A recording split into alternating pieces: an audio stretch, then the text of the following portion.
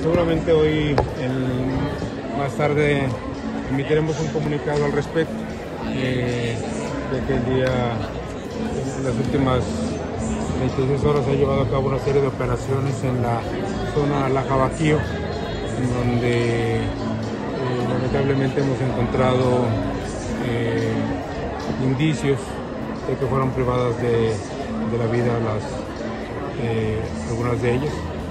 Eh, llevamos a cabo también unas operaciones en la en zona Cabaquío en la que tenemos más de una docena de detenidos y diversos aseguramientos que reitero los detalles como están en proceso en este momento emitiremos más tarde eh, un comunicado al respecto para poder brindarles a ustedes los detalles que sean dables hacerlo y que no entorpezca la investigación. detenciones, a un, evento allá Guanajuato, Las que iban a un evento a Guanajuato, fiscal decía por ahí, este, familiares. ¿Se descarta la trata como línea de investigación?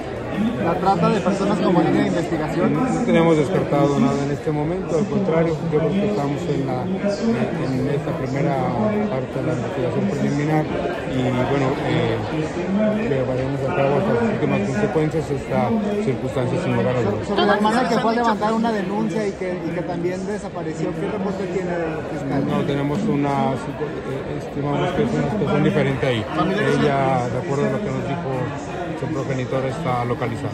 Familiares han dicho que trabajaban de por algunos han declarado que tenían ese tipo, es una línea de la investigación de las, de las visitas. Mira, para nosotros tenemos muy claro que la, las circunstancias por las cuales eh, ellas fueron, eh, estimamos, privadas de su libertad inicialmente y después, por lo menos algunas de ellas privadas de la vida, es un hecho muy grave y que desde luego tendremos que llegar hasta las últimas Pero- consecuencias.